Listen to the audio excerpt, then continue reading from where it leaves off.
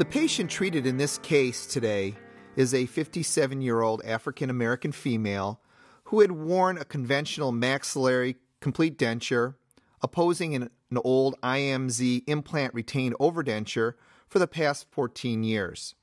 She was very satisfied with her implant prosthesis. However, she was still wearing a maxillary complete denture, and even though aesthetically it was acceptable to her, she was concerned about long term bone loss and the fit of the denture. She also would like to have the palate removed in her denture if that was possible. Figure 1 demonstrates the high smile line of this patient, and as you can see, the complete maxillary denture certainly is aesthetically pleasing.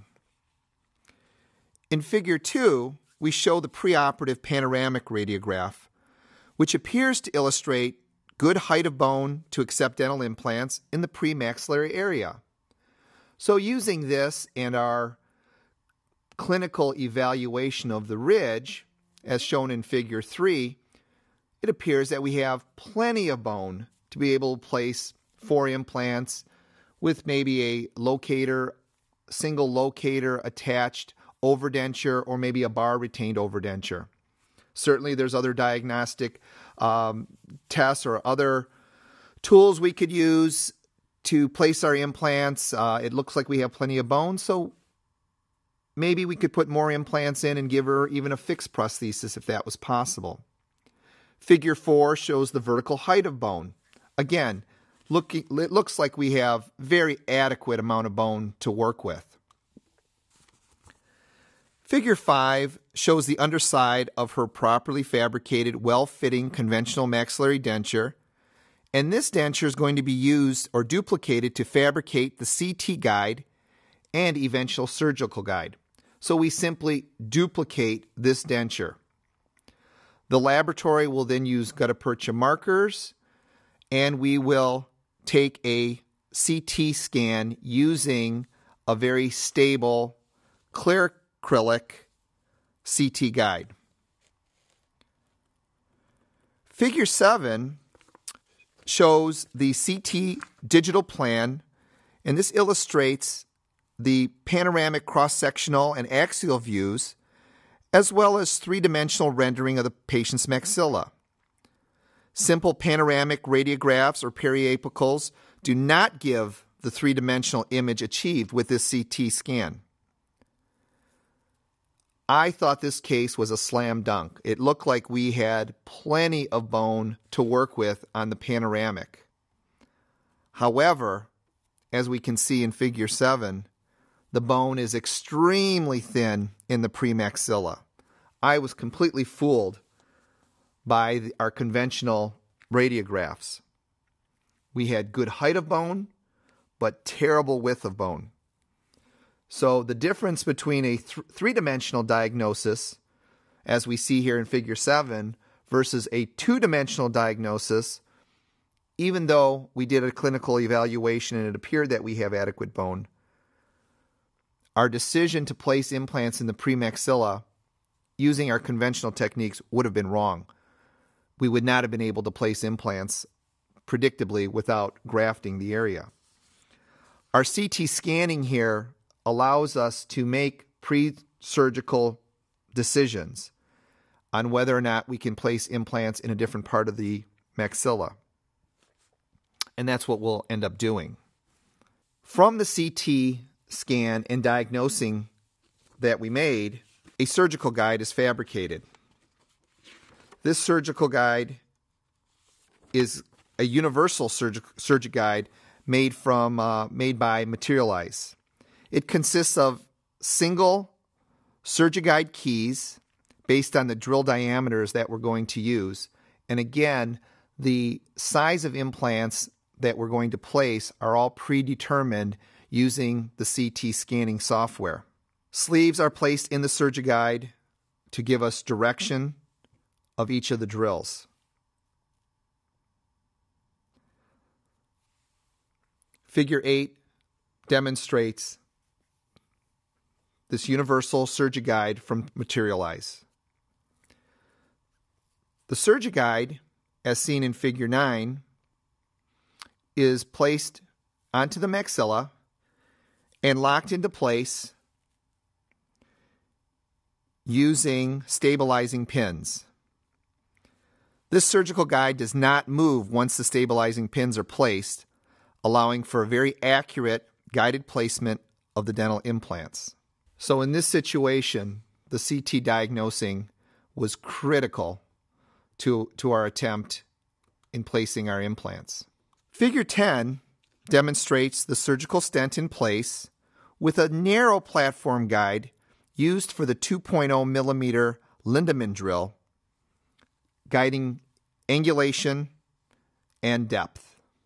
The Sybron implant system, which we chose to use in this case, is very simple and precise. The first drill used to initially determine angulation is that Lindemann guide drill. This is a very sharp drill with a very sharp point. The Lindemann drill is positioned to the predetermined depth that was determined using the CT diagnosing and the Simplant software, which allows us to virtually place the implants before we ever touch the patient.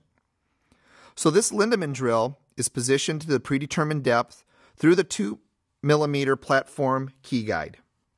The next two figures here show a 2.2 millimeter platform key positioned into the into the sleeve and the 2.2 diameter twist drill is then used to establish depth. As you can see in this system, the black lines are clearly delineated. 7 millimeters, 9 millimeters, 11 millimeters, 13 millimeters, and 15 millimeters to the top of the twist drill. Soft tissue is compensated for with the CT and the universal surgical guide. Figure 15 illustrates a periapical radiograph of the 2.2 millimeter twist drill to the predetermined depth. It's always nice to take a radiograph to know exactly where you are at any one time. Next, we put a 2.8 millimeter platform key into the guide and a 3.3 millimeter twist drill is used to the proper depth. The actual diameter of this 3.3 millimeter twist drill, however, is 2.8 millimeters. Figure 18 shows we went to proper depth. Figure 19 shows a periapical radiograph of this 3.3 millimeter twist drill in the correct position. Now, figure 20 is showing our osteotomy for the posterior implant. So here we're doing the posterior implant drilling with a 2.2 millimeter platform key in position. The next slide shows the 2.8 millimeter platform key in position. And this is for a 3.3 millimeter implant.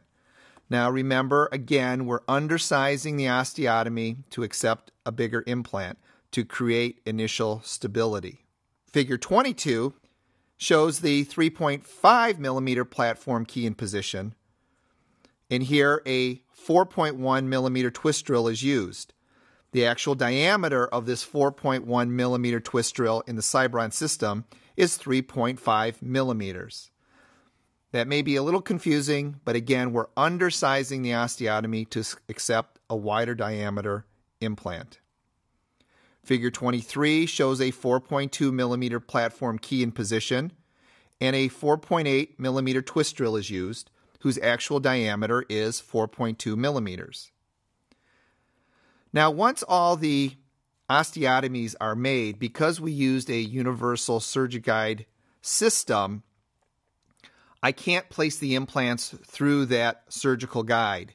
So I simply remove the surgical guide, and here I'm using a tissue punch to remove the epithelium around the neck of the osteotomy sites. We don't want epithelium to be engaged within the osteotomy site because it can cause a problem in healing. So I'm simply using a tissue punch and remo- removing it.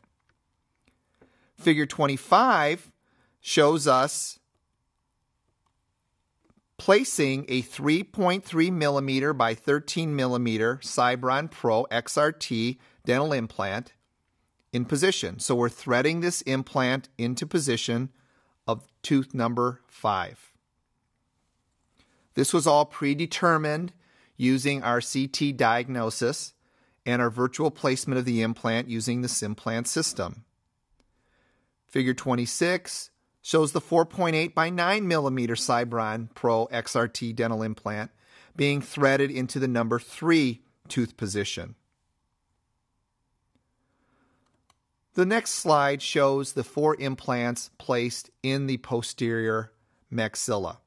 You can clearly see this was a flapless procedure, precisely directionally placed using CT scanning software and a universal surgical guide that allows us, allowed us to make our osteotomy in a precise position. The next two periapicals show the implants in ideal position. We were able to put the correct size and shape of implant for the individual situations. And remember, our panoramic was very deceiving early on. It looked like we had plenty of bone to work with.